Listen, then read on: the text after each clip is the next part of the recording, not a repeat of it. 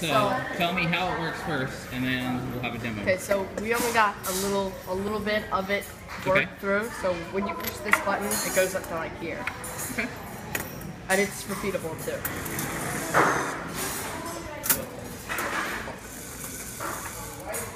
Okay.